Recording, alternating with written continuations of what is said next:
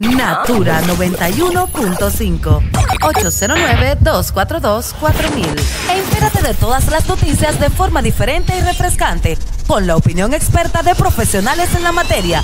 De 7 a 9 de la mañana El Caster Show. Cultura, medio ambiente, política, salud mental e investigación. Por Natura 91.5 y en las redes sociales El Caster Studio Buenos días, muy buenos días para todos nuestros amables oyentes de la 91.5 y de la plataforma Castel Studio que nos sintonizan en el mundo.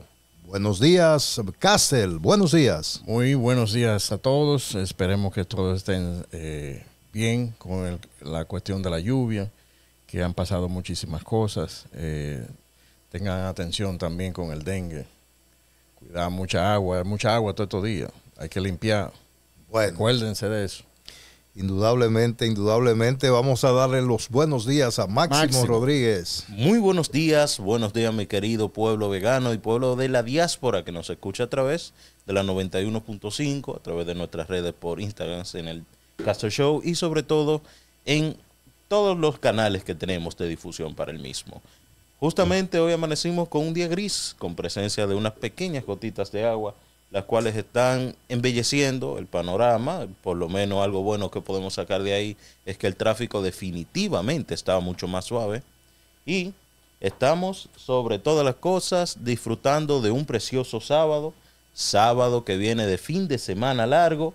Así que para muchos es motivo de alegría ya pues vamos a estar celebrando el Día del Trabajador el próximo lunes. Recordemos que a pesar de que la fecha quería domingo, pues es el último domingo del mes, si no me equivoco, vamos a pasarlo para el lunes, el cual se va a declarar como día feriado. Buenos días, Marcel, ¿cómo estás? Buen día, buen día a todos, ¿todo bien? ¿Y ustedes cómo se encuentran? Bien, muy bien, Marcel. Buenos días. Un poco húmedo el ambiente sobre la ciudad de La Vega. Eh, y ciertamente las lluvias han causado estragos aquí en la ciudad de La Vega. Eh, ya se puede observar cómo el Badén, ahí en Monte Grande, eh, fue, digamos, que tapado por las aguas, las aguas del río Camú, que están con bastante caudal, el río tiene bastante caudal. Y ya en días pasados, y esto no lo he visto en la prensa, eh, me reportó un amigo sobre la muerte de dos personas de nacionalidad haitiano por el área de Sabaneta.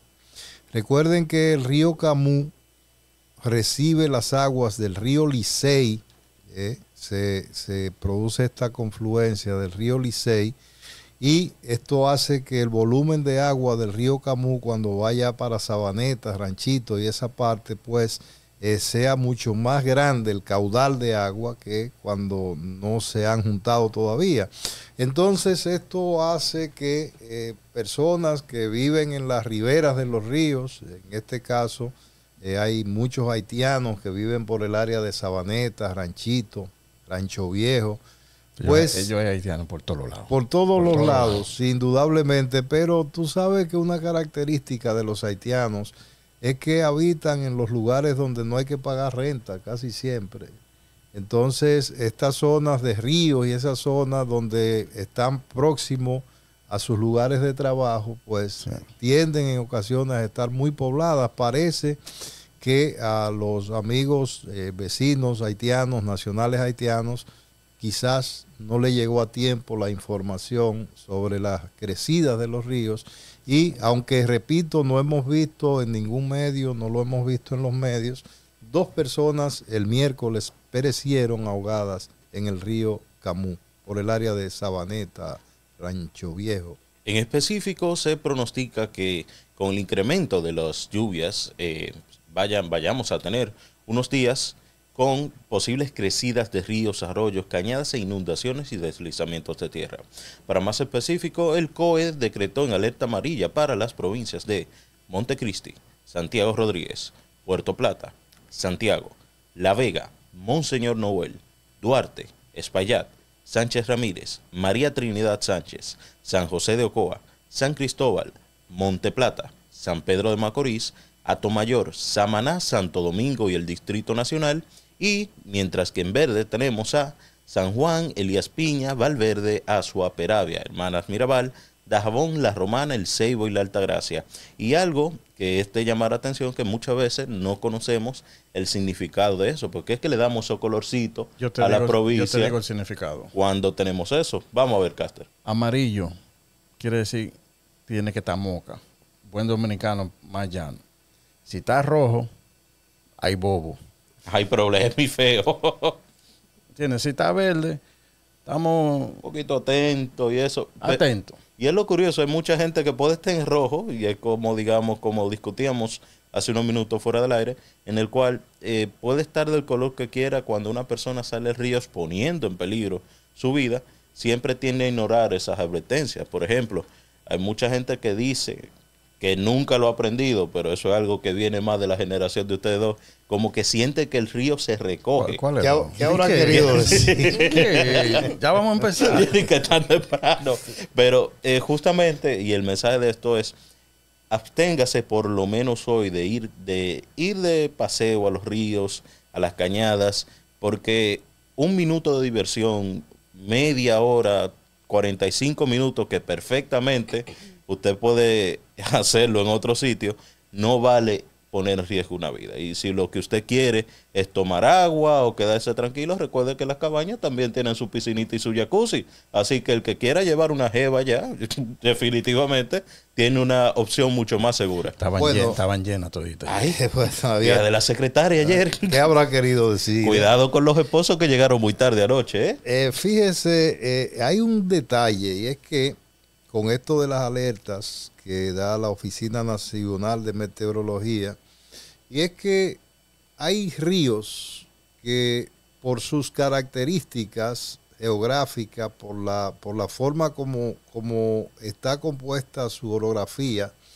eh, tienden a ser muy violentas sus avenidas. ¿Cómo quiere, ¿Qué quiere decir esto? Por ejemplo, para hablar en- de un caso que conocemos, en el río Fula, el balneario de Fula, Uno de los más concurridos que tenemos. de los más concurridos porque está eh, cerca de la capital, eh, viene mucha gente de la capital, pero este río tiene la característica de que eh, el balneario donde suele ir la gente está muy próximo a las montañas. Entonces el río empieza a llover en las montañas, coge agua, el caudal aumenta considerablemente y sorprende a los bañistas. Lo sorprende porque en un periodo de, digamos, dos, tres, cinco minutos, ya tú tienes una cantidad de agua ahí que es capaz de ahogar a cualquiera y esos casos de manera reciente los hemos tenido. De manera, de manera que exhortamos a la gente que en estos días, como el Día del Trabajo, por ejemplo, es una tradición en la República Dominicana que los patronos, básicamente en, en las plantaciones, en los campos agrícolas, los patronos pues acostumbran a recoger todo su personal y su familia y se van a los ríos, de manera pues que el lunes no es un buen día para realizar esta práctica que es un tanto tradicional en la República Dominicana. Sí. Eh, eh, le quería recalcar, como te estaba hablando del río Fula, eh, se recuerda la, la última Tragedia. tragedia que pasó, eh, que estén pendientes, la gente que vive en el área conocen el río, saben cuando hay problemas, saben cuando, Cuando va a venir- crecerse. Va a crecer, que protejan a la gente que vienen de otros sitios, porque usted, lo que, lo- la tragedia que pasaba fueron con gente que no son del área y no conocen el río. Pero Sí. que el que conoce el río, él sal- salen de una vez. Evidentemente, evidentemente, y como ya hemos dicho tantas veces sobre la peligrosidad de estas aguas y, y la gente no tempera el llamado, pues vamos a pedir que el lunes a las autoridades, la defensa civil básicamente, que es la que está más atenta de esto, si es que hay condiciones climatológicas para que la gente se desplace, hay que recordarle que en el trópico cualquier día llueve, Marcel, ¿verdad que sí? Sí, eso es algo... Y estamos desde semana con esas alertas, o sea, no es algo nuevo, o sea, la gente debe saberlo. Y con respecto a lo que estaba diciendo Caster, o sea, la última tragedia que fue algo realmente fuerte Y lamentable y también. lamentable. Eh, muchos de los que vivían en la zona le estaban diciendo a los que se estaban bañando, sálganse que el río va, eh, va a venir fuerte, que está creciendo el río, sálganse. También exhortamos a la población a que se lleven de los consejos y atiendan a, a las personas, como dice Caster, que saben cómo se maneja el río para no tener más pérdidas en esa parte. Señores, y vamos a hablar un chin de política. Porque estamos, ¿cuántos días que estamos de las elecciones? Eh, estamos a, Ya a prácticamente 21, 22 días. 22 días. Ya eso, ya eso es ahorita el 19. Ese tiempo va a pasar rápido. Y, justamente lo que estamos a chin, a chin ya, la recta final. ¿Y cómo, cómo va, eh, eh, según lo que ustedes han observado en La Vega, este fin de semana no hay actividades pautadas de los candidatos para La Vega? Porque el sábado estuvo aquí el candidato de la fuer- de, de- Del Partido de la Partido Liberación. de la Liberación Dominicana. Dominicana.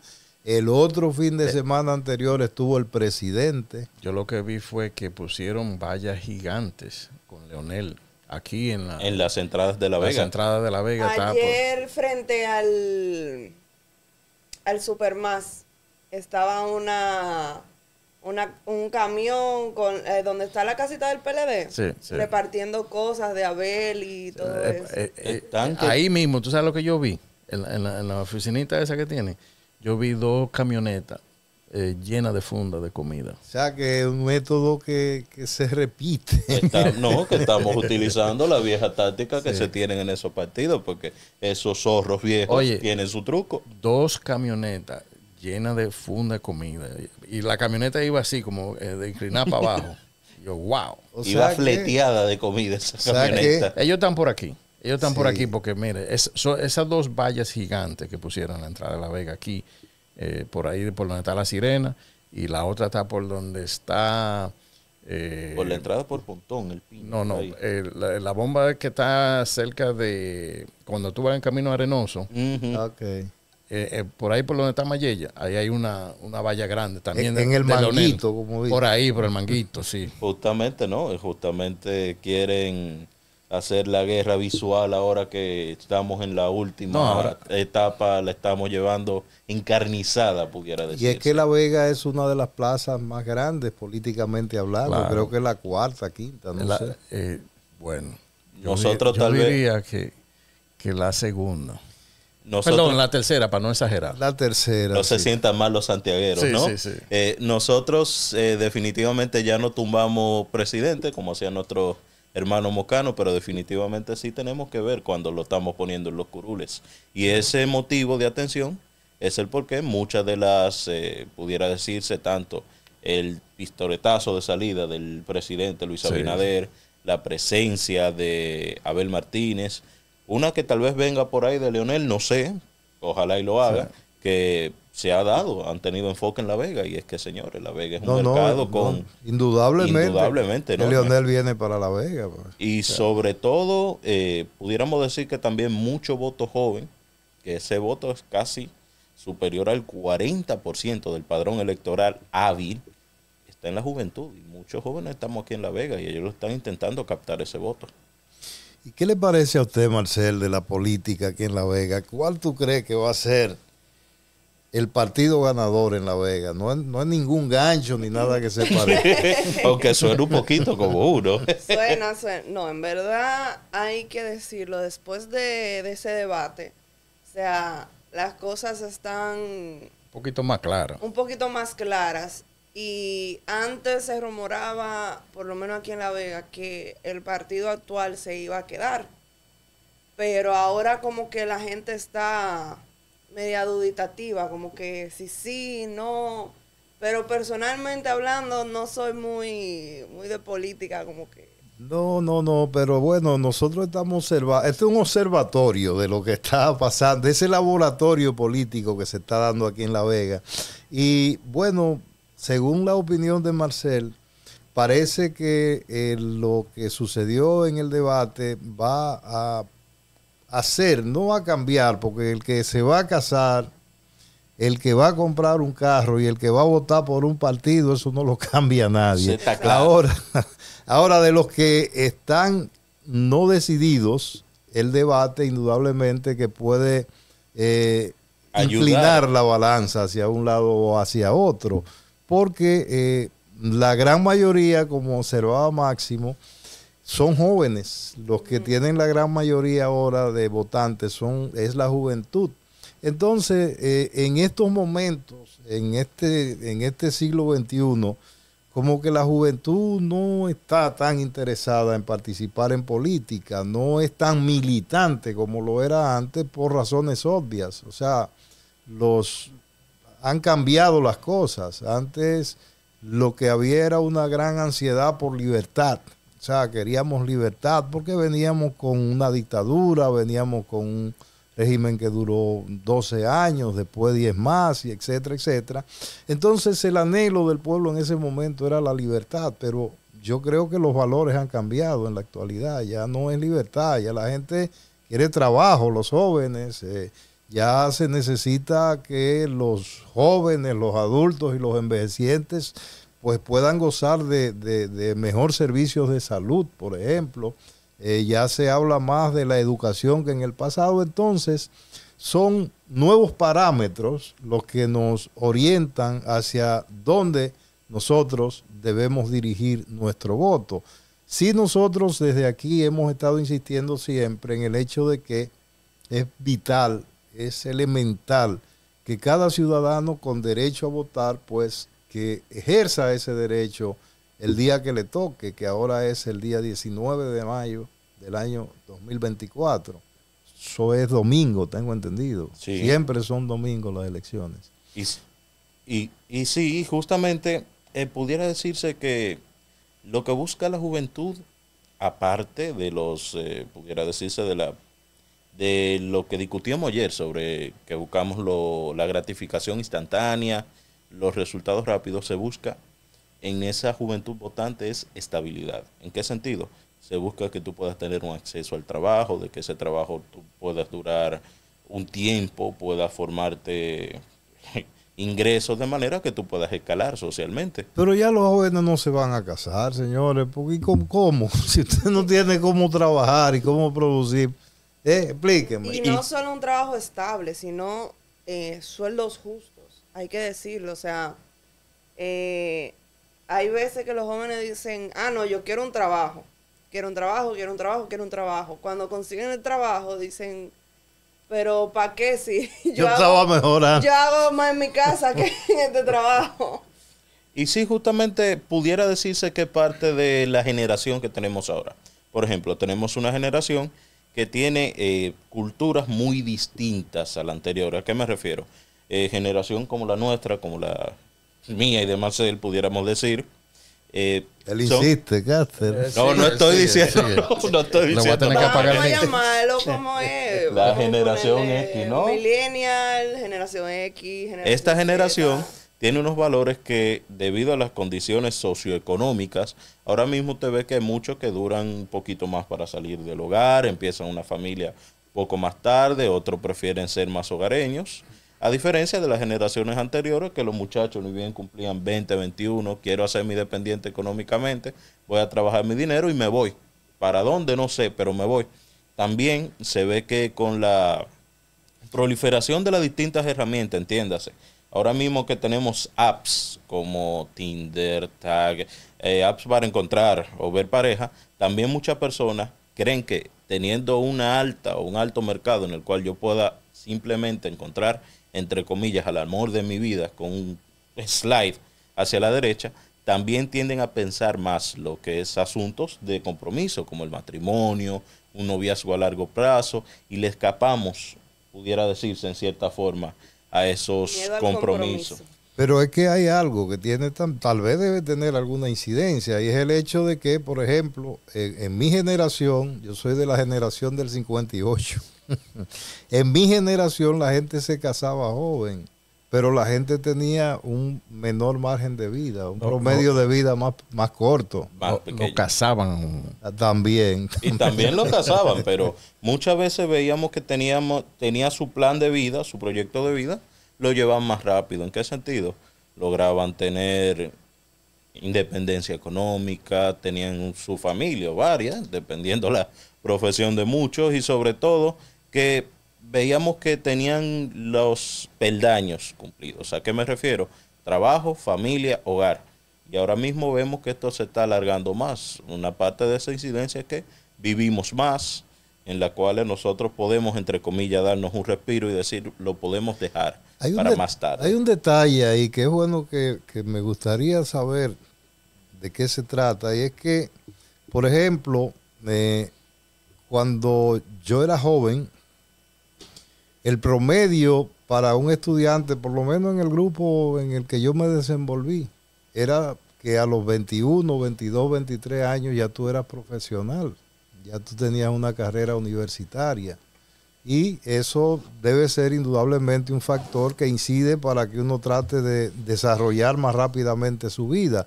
Pero yo no sé en el momento por dónde anda el promedio de edad de los jóvenes profesionales que están generando las universidades. Ahí es que está el problema, que no están estudiando. Muchos Son muy pocos. sí son muy pocos porque Es que ahí vamos de lo que dijo nuestro querido presidente Abinader, Lonini. Y también, además de esto, tenemos un detalle eh, marcado y es que muchos de los influencers, mucha de la media que ellos consumen, de Sí. esa media tan malintencionada, lo que te promueve es gratificación instantánea, en sentido de que tú lo que tienes que dar un manazo, pasarla bien por 45 minutos.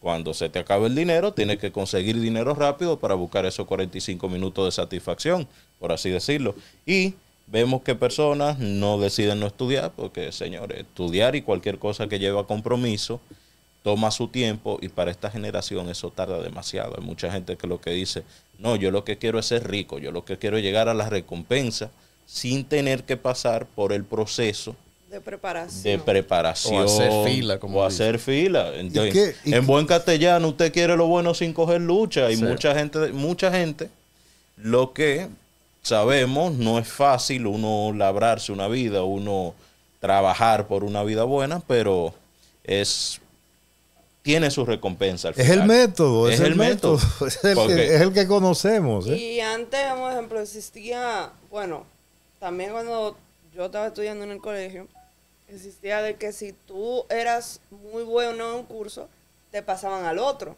o te pasaban al siguiente. Ahora no, ahora no se puede hacer eso. Yo, Por- porque hay, el ministerio tiene ciertos reglamentos ahora de que de acuerdo a tu edad es que tú tienes que estar en una etapa. Bueno, pues hay, hay una regresión, porque antes era así. Antes para tú ingresar a la escuela pública, yo soy producto de la escuela pública eh, y de, de otra escuela, pero en la escuela pública era a los seis años que uno podía ingresar. Y no habían estas guarderías que te están dando información Y Pero si entraba a los temprana. seis, entraba en primero, ¿no era? en primero, sí, en primero. Ajá, porque esa era la edad que te tocaba. En primero. Se está haciendo así, pero tú no puedes, un ejemplo, no puedes de que decir yo tengo seis años y voy a entrar a kinder. No, te tienen que entrar a ese curso aunque tú no sepas. Absolutamente. Hay un detallito. Normalmente, y era algo que se veía cuando tú volabas a un estudiante, muchos cupos, a pesar de que el estudiante, en cuanto a su currículum, en cuanto a lo que le tocaba ver, pudiera saberlo o no,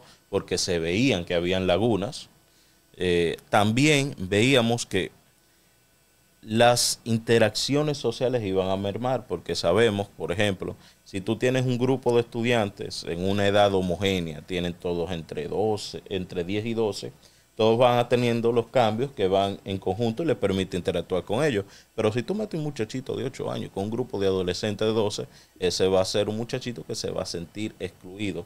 Yo en parte estoy de acuerdo que a los niños no se le vuelen cursos, porque sabemos que ahí incidía mucho las relaciones. Esto es dominicana y si el muchacho es sobrino de una directora, sobrino de una o hijo de una profesora, se sabe eso, vuélale un curso, vuélale dos. Pero- y teníamos esa laguna. Fíjate, eh, eh, ok, ok, pero también, también existían y existen ahora antes eh, esas pruebas que dan algunas instituciones Claro. que las dan por todo el país. Por ejemplo, a mí me tocó, a mí me tocó en mi momento eh, recibir esa prueba que era, era entonces una cosa muy avanzada porque eran eh, sistemas creados por los norteamericanos. Y, y en esas pruebas, por ejemplo, se admitían los estudiantes que tenían aprobado el primer año del bachillerato, del tradicional, pero también se admitían estudiantes que ya fueran bachilleres, sea, que tenían incluso muchos, yo llegué a tener compañeros que habían salido de la universidad para entrar en secundaria eh, con el primero aprobado, o sea, para entrar en segundo del bachillerato y sumarse a los estudiantes que seleccionaba esa institución. Entonces tú tenías después en las aulas que tenía, por ejemplo, el caso mío, que yo tenía cuando ingresé 15 años, pero había unos tajalanes ahí que tenían 30 y 25 también en el mismo curso. En el mismo Ya, curso. ya me no imagino, me imagino lo incómodo que hubiese ya no se puede. El, el mismo sistema educativo, que es el CIGER, que es que está en todos los centros escolares, eh, cuando te pasa de 18 años, te tira una alerta. Te tira una alerta y como diciéndote, espérate, ese muchacho no puede estar ahí. Y hay veces que automáticamente, hay alguna, en algunas instituciones, no todas, te lo saca del sistema. Porque dice, ese muchacho no puede estar ahí, tiene que estar, un ejemplo, en prepara. O tiene que estar en la universidad porque el muchacho está ahí. Entiendo. Y justamente se crean esto porque no es en el mismo estadio psicoemocional que se encuentra, no es en el de, de su desarrollo psicológico y físico y puede traer problemas. No digamos que, andan haciendo algo malo, pero Un problema de aprendizaje ahí, ok, está bien, pero, pero, o sea, es lo que dice Máximo. Hay un problema ahí de desarrollo psicoemocional. O sea, tú no me puedes comparar a un niño de 12 años con un niño de 16, 17 años. Son dos cosas totalmente diferentes. están en diferentes estadios en la vida. Por eso estoy en- de acuerdo que se restrinja de que se tengan los niños donde toca, pero desgraciadamente no vemos que el problema, a pesar de que seguimos teniendo protestas, eh, el problema no se encuentra en las escuelas. Después de, tenemos estos, eh, estos estudiantes salen decepcionados con el sistema o simplemente no tienen ganas de estudiar y de querer trabajar porque tenemos los fríos a esa edad. Yo también lo tuve de que, ¿para qué estudiar?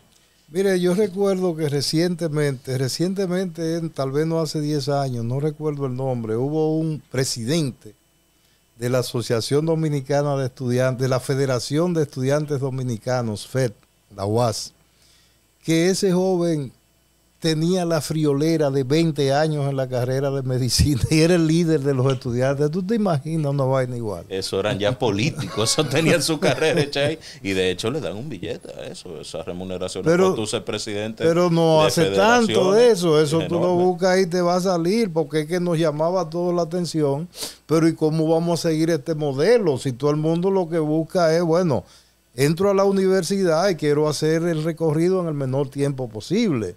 Entonces este muchacho, que era el presidente de la Federación de Estudiantes Dominicanos de la UAS, tenía 20 años en la carrera de medicina. Estás hablando de treinta y pico, Ahí básicamente. hay que. Ahí hay un que- marco, ¿eh? Aquí hay, ahí en esa parte hay que observar qué fue lo que pasó, si es dejadez, si es la universidad, si qué, porque Hay, hay muchos factores que con- confluyen ahí. En el caso de la Universidad Autónoma de Santo Domingo, que ya no es lo mismo. Porque yo creo que ya hasta le dan de baja a los Sí, estudiantes. sí. que Coño, pero lógico. ¿Y cómo usted va a estar ocupando un asiento que lo necesita otro durante 20 años? Por la razón que sea. Por la razón, porque si es loco, excúsenme el término. Ay, oye, por- porque se salga de eso, que deje eso. Si es, si tiene algún problema cognitivo, es que se llama. Cognitivo. Ah, ya. Pero ahí lo que, aunque ahí tenemos más el problema es económico. Eh, perdón. Eh, vamos a seguir en ese tema. Mira, mira, mira lo que yo me pasó el día entero con los mensajes. Diciéndole a la gente, estas son gente que están en Santo Domingo, que quieren oír la emisora, le digo que vaya a la aplicación de, de la página, porque quieren escuchar la emisora. El día entero, ayer me pasé lo mismo. Mira, mira otra vez, ahora mismo en la mañana. O porque sea- quieren, porque están interactuando, están, quieren, O sea, o sea que está no, gustando la vaina. no le estamos ladrando a la luna. ¿verdad? No, míralo Está ahí. buena la vaina. Mira ahora, mira ahora mismo, son las 7 y 47. Esa muchacha, una muchacha, una jovencita, tiene la, eh, la cara joven y quiere escuchar. Y le tuve que dar la página de Natura para que vaya y vea el link porque quiere escuchar la emisora. Y le Bueno. voy a dar más que la página, que recuerde también que puede llamarnos al 809-242-4000. Sí. Opiniones, preguntas, algún tema del que quiera hablar. Estamos aquí, tenemos un panel con dos psicólogos, eh, una de ellas es experta, yo soy más humilde, no me gusta de llamarme así. tenemos al Caster y a Don Oscar, que también son expertos y sobre todo hombres de sabiduría. Yo así soy- que podemos... Así suena mejor. Califíqueme de, Hombre de sabiduría. de so- Por sobreviviente. eso te voy a conseguir café ahora. Califíqueme Muchas de- gracias. de so- sobreviviente, sobreviviente. Por cierto, hablando de sobrevivir, ¿cómo les habrá ido con esta lluvia a nuestros amigos de la Peralta Michel y el Rito y esa parte que ayer hacíamos la denuncia de los problemas con el drenaje cloacal que hay por ahí? Ojalá que, que no sigan esos desbordamientos urbanos que generan tantos problemas aquí en la ciudad de La Vega. Y no solamente en esos sitios, eh, con la cantidad copiosa de agua que cayó ayer, hay lugares en La Vega, que quienes vivimos aquí sabemos que son emblemáticos, con lo que se inundan. Un ejemplo de esto es, y es uno de los que puedo mencionar, es frente a los bomberos. Ahí tú veías que los carros tenían que devolverse.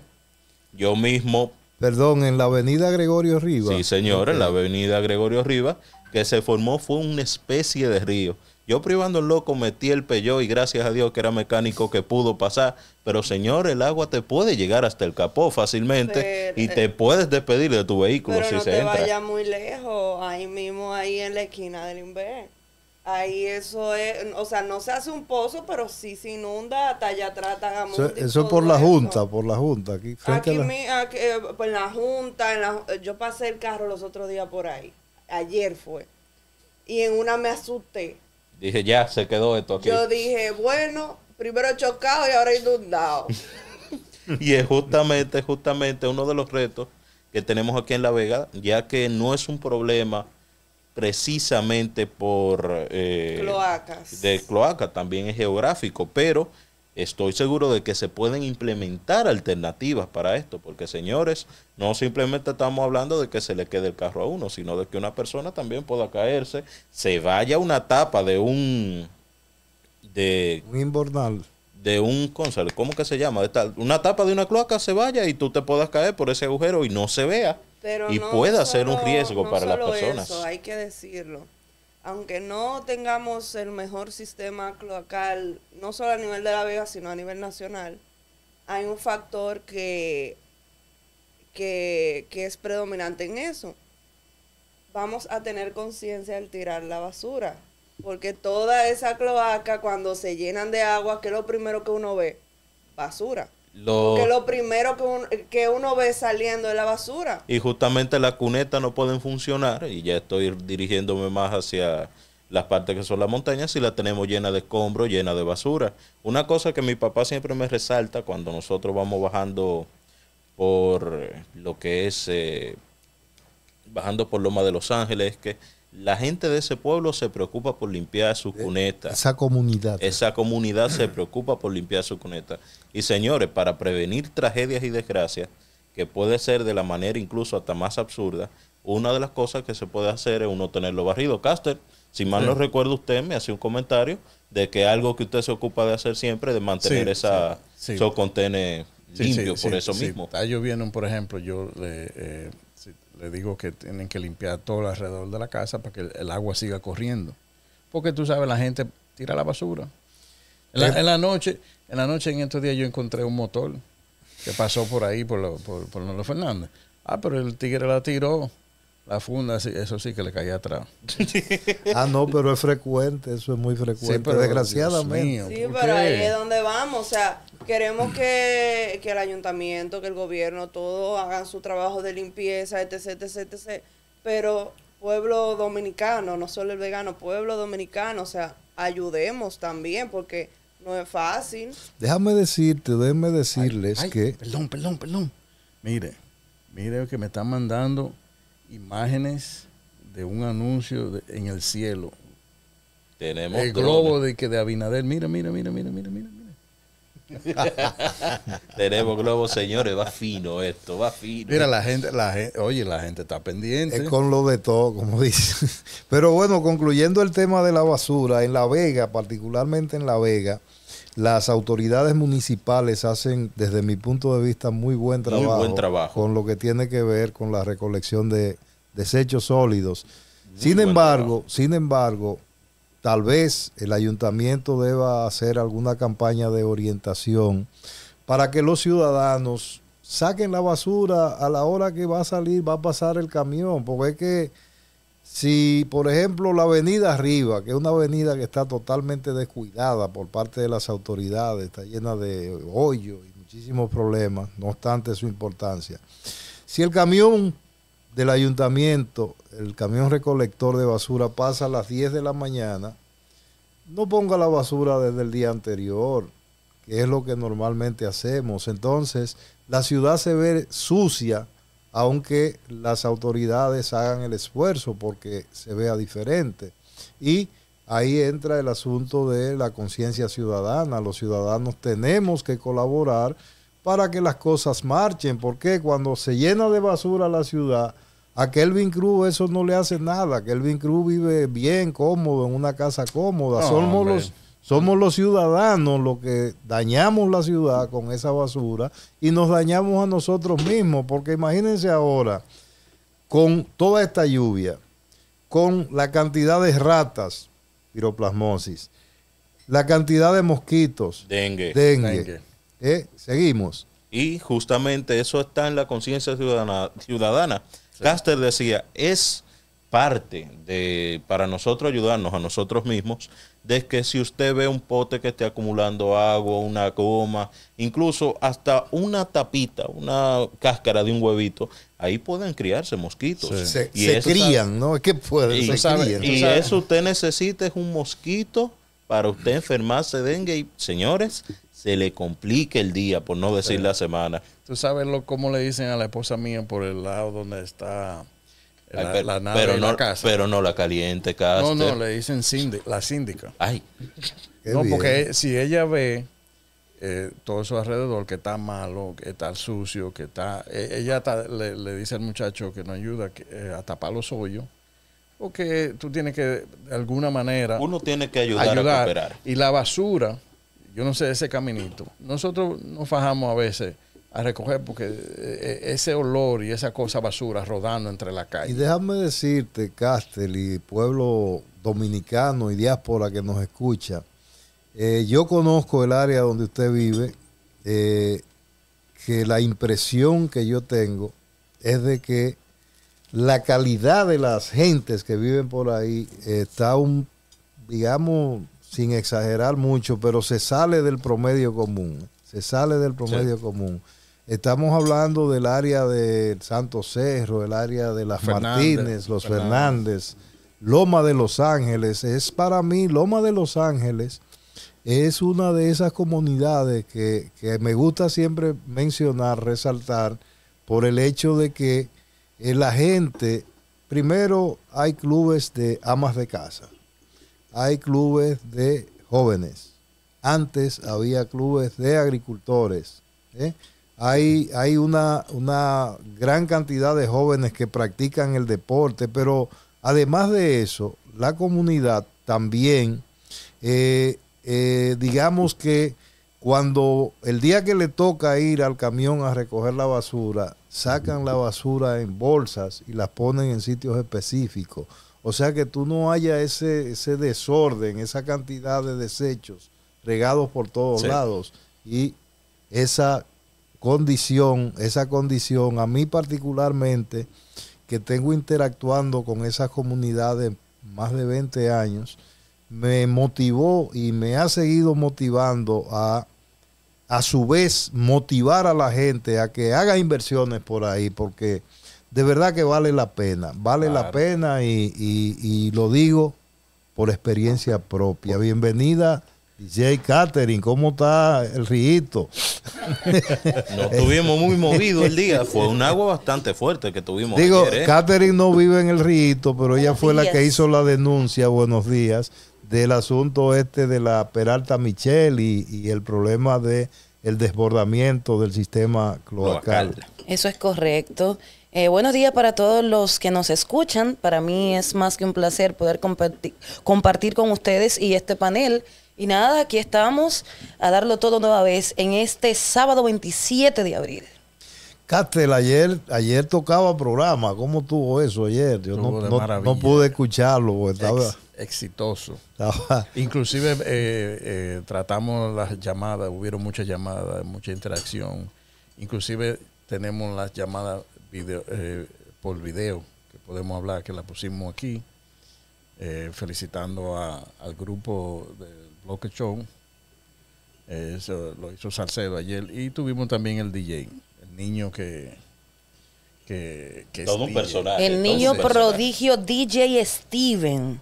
DJ Steven, esto, esto, Puro. está, esto está causando sensación ¿eh? en las redes y en la audiencia de Natura FM. Y en La Vega también. El efecto, el efecto de esto, señores, es increíble, increíble, increíble. Yo que trato siempre de vivir en bajo perfil, es mi costumbre.